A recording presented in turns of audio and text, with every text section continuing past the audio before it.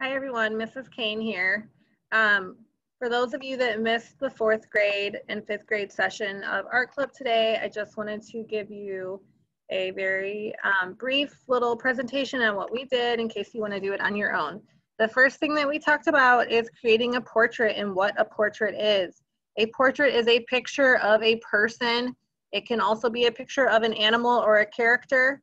Um, a self-portrait is a picture of yourself, and that's what we are going to be creating today. Notice, notice the position of these portraits.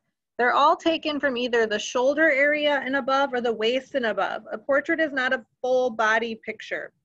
Okay, so we're not drawing arms and poses or um, standing, you know, in different positions. It's just from the waist or the shoulders up. This picture on the left is of Frida Kahlo, very famous Mexican artist. And you can see her portrait is slightly more realistic um, in the painting. This is Pablo Picasso. He is um, very famous for the Cubist style, which is how he's done his portrait here. This is Vincent van Gogh. Many of you know him from Starry Night, and you can see the swirling pattern he has. The text, the visual texture here done in his portrait is similar to that of his painting of Starry Night. And this is Mary Cassatt, who is creating her portrait in the Impressionist style, which is um, very soft and sort of, um, instead of a fuzzy sort of look to it. We are going to be creating a self-portrait today. Um, and what we're gonna be focusing on is animation and creating some different um, features, but we want to try and add a specific detail to our picture that's going to make this symbolize us or something that will make um, people be able to recognize that we were doing a picture of ourselves. We are going to do this in a Tim Burton style. Um, because it's close to Halloween, I thought this would be fun. Um, Tim Burton's char characters are slightly creepy and interesting. Um, he always uses very, very large eyes and extremely long, um, elongated necks in his characters.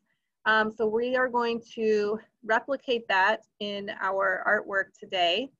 Um, if you are not a fan of Tim Burton or you don't want to do a spookier type of picture, I also included a picture on Schoology of some cartoon um, type features. So you could just do an animation character. Even if you look at Disney characters, uh, Moana, from um, the sisters from Frozen, um, you can see that their eyes are always very large. So some of the characteristics in these characters as well as other animation characters are similar.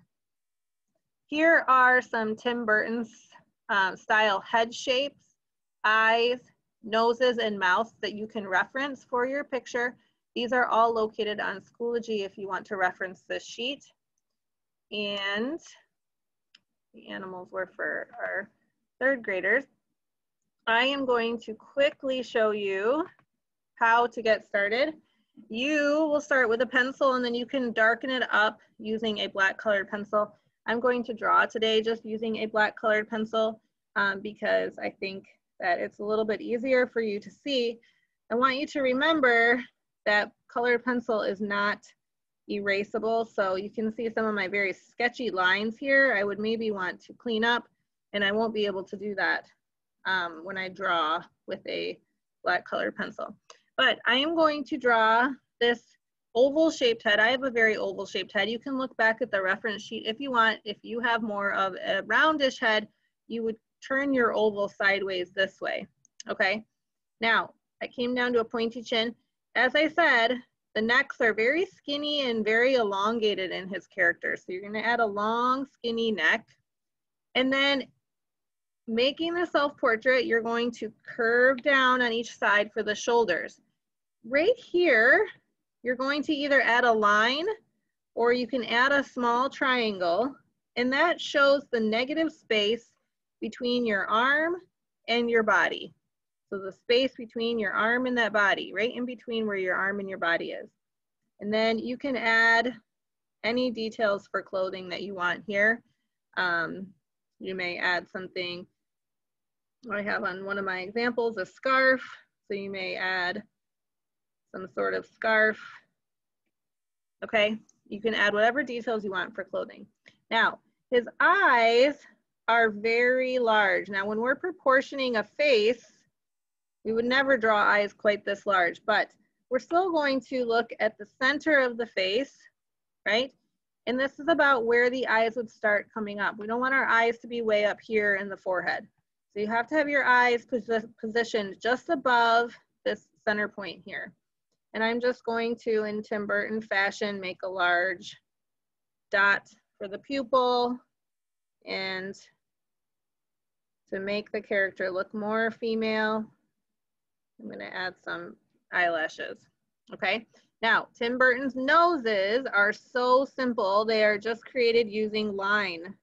So I'm only going to make this elongated line, okay, to create the nose. Again, you may add different shapes. You can twist the style into your own a little bit, however you want. And then I'm going to add a very small mouth.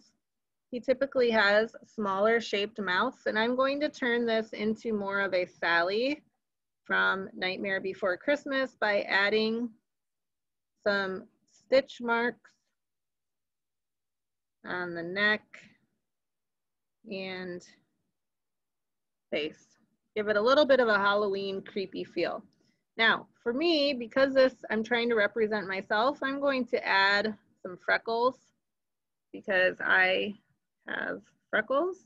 You may have a birthmark or a mole or a dimple or something that you can add to your face that's going to make this look a little bit more like you. And then his hair is done very, um, with large forms. I always wear a side ponytail. So I'm going to draw these larger forms. Now I have curly hair. So I'm going to add some curls. Notice I'm not drawing all strands of hair. I'm drawing these in large chunks instead of individual strands of hair, right? And that is more of a Tim Burton style to add large chunks with some lines added in. I had a student ask during class if they could draw ears. Yes, of course we can draw ears into the picture. When you look in the mirror though, remember you don't see the ears sticking straight out. They're tucked in on the side so you only see a slight bump come out on the side. And here's my hair coming out on the other side. Okay, now Tim Burton, if we did this on a gray paper, we could add in a lot of cool details using a white um, colored pencil. But you could use your black to color in and just shade in some skin tone, um, giving it that real creepy feel. If you wanted to do this more like Sally from um, Nightmare Before Christmas, she has a blue tone to her skin. So you can lightly shade in using a colored pencil. You could also just use the graphite from your regular pencil to do this. But remember when you get up against certain areas of your face that are not flat, like your nose, or where you have different impressions around your eyes, you can press a little darker or layer to make some shadows, maybe up along the hairline is a little darker. So if you color those areas in, pressing harder, and then pressing very, very light everywhere else, you're going to add those details of value that really make pictures look more interesting. Okay, so you can add in, and of course, underneath the chin would be darker as well, and then your neck would lighten up as you went down because you have the shadow from the face. And then you can go in and add some pops of color. You can add a background. I would go in and maybe add some lights and darks of the red into the hair um, and add some of those details. You can make this look very Halloweeny. Um, add some spiders or you can add some pumpkins in the background. Okay, and really turn this into a fun Halloween picture. Here is another example that is larger. And here is an example of um, the male character that I drew from The Corpse Bride. And you can see this was just done in black and white. But the reason that I wanted to show this is because for um, some of our hair if we have short hair like this, just to show how that would look without drawing the longer hair coming down. And if you choose, you may decide to do this in more of just a happy cartoon featured picture if you are not interested in Tim Burton. All right, I hope you have fun with it and I'll see you all next week.